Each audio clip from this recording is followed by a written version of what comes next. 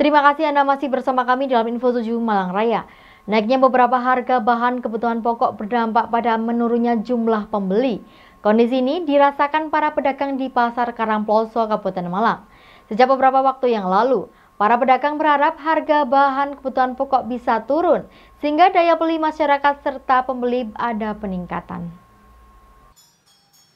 Turunnya jumlah pembeli sudah dirasakan para pedagang di Pasar Karangploso sejak beberapa waktu yang lalu.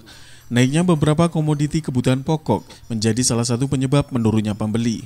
Beberapa komoditi yang mengalami kenaikan harga di antaranya beras, telur ayam, terigu maupun mie, sehingga stok di tingkat pedagang terlihat menumpuk.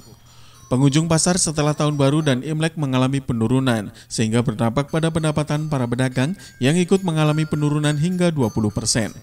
Dibandingkan dengan tahun lalu, pembeli yang datang tidak seramai tahun lalu. Padahal kondisi dan aktivitas warga masyarakat sudah beraktivitas normal dan leluasa setelah pemerintah pusat mencabut aturan PPKM sejak beberapa waktu yang lalu.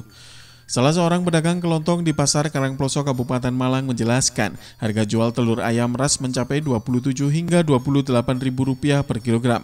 Beras dari 10 ribu per kilo kini berada di kisaran 12 ribuan. Mie dan tepung juga mengalami kenaikan.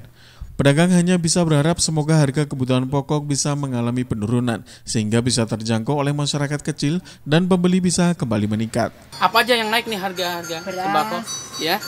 Biasanya 10 menjadi 12. Per kilonya ya? Per kilo. Ya. Telur? Telur, berat telur naik turun. Telur? Biasanya 28, kemarin 27. Hmm, 27. Itu saja naik turun.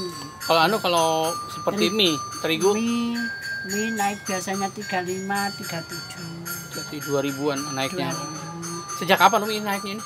Sudah satu minggu lebih, ya sudah lama lah. Nak. Terigu biasa, segitiga biasanya 12, anu Ya. 11, sekarang 12. 12 naik terus. Jadi naik 1000, 1000. 1000, 1000 naik terus ya. Oh berarti dampaknya ke anu ya, ke pembeli Umi. Ya, Apalagi sebentar lagi kan juga Maret sudah puasa lah ya kelihatannya. puasa tambah.